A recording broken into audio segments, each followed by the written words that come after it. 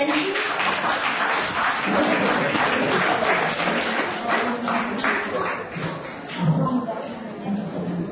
Paula has been one of our line dancing instructors for about 10 years, I think, Paula. Eight. Eight, eight years.